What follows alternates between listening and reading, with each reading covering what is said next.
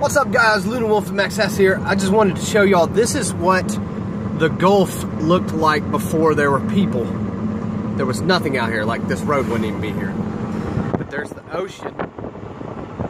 If you ever come down to the Gulf of Mexico, like Alabama, Mississippi, Florida, all this is usually covered in nothing but hotels. You won't, like you can't see the ocean because of all the hotels. Look at the tide today. Ridiculous. That is crazy. I wish there was somewhere to park so I could get out and look at it. Look at that.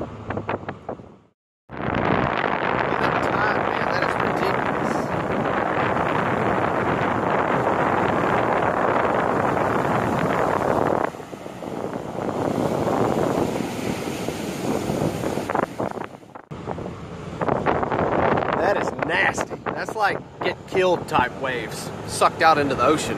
But yeah, this is what the Gulf used to look like before all the hotels and tourists, which I know it generates money for the states and all that stuff, but whatever.